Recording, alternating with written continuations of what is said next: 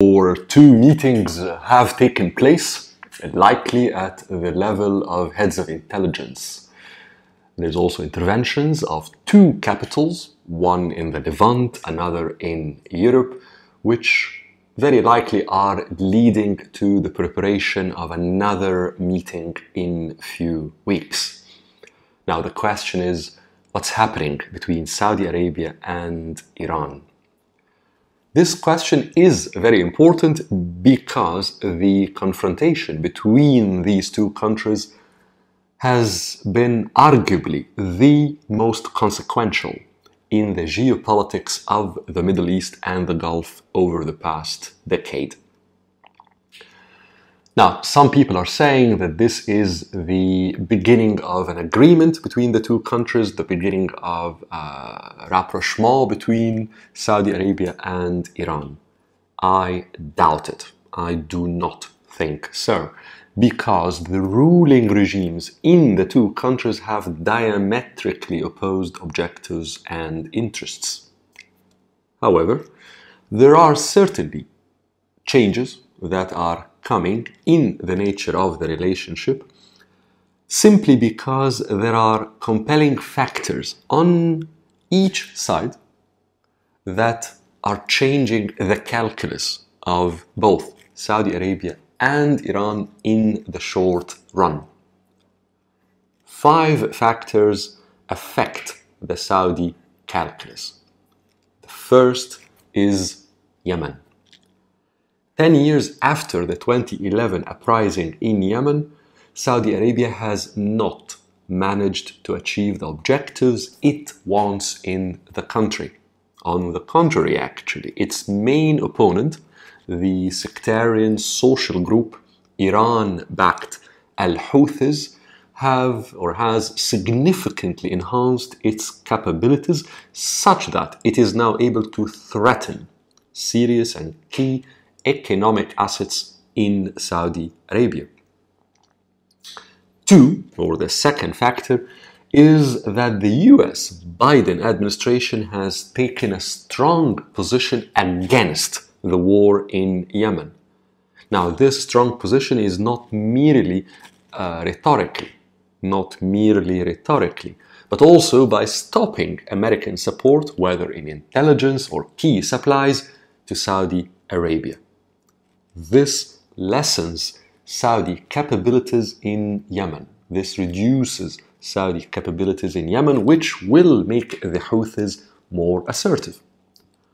The third factor in the Saudi calculus is that there are influential circles in Washington, D.C., in the American capital, that have been using the acute humanitarian crisis that the war in Yemen has resulted in to weaken Saudi positioning in the US, particularly in Congress and the media. Of course, this comes after the Khashoggi affair, the murder of the Saudi journalist Jamal Khashoggi in Istanbul. The result is that brand Saudi has been suffering for some time in America. Timing is important here because the Saudi Crown Prince Mohammed bin Salman realizes that Saudi Arabia's and his own positioning in the US will be important when the moment of his ascension to the throne after King Salman comes. At that moment, America's position on Saudi Arabia could very well have consequences. The fourth factor in the Saudi calculus is the US Iran deal. Saudi Arabia realizes that a deal between these two countries will take time, but it will ultimately take place. And as the famous English saying goes, if you can't beat them, join them.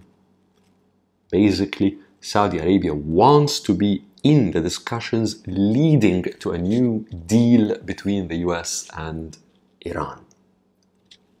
The fifth factor in the Saudi calculus is that there is a new mediator now who has proven himself to be particularly talented in all the negotiations related to Iran. This is Iraqi Prime Minister Mustafa al Kadhimi, who has had a subtle but strong relationship with Tehran for several years and who has also managed to gain the trust of Riyadh. Increasingly, he is able to find the angles through which Saudi Arabia and Iran see that the benefits of discussion outweigh those of confrontation. The Iranian calculus is different, but still there are factors that are changing the Iranian thinking.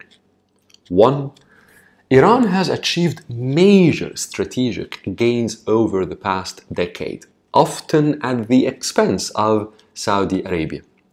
But Iran is tired militarily and economically. Saudi Arabia, however, has immense economic resources and in the world of oil, it is vastly more powerful than Iran. And as such, it can increase the economic pressures on Tehran. Economic exhaustion incentivizes Iran to sit down and talk with Saudi Arabia.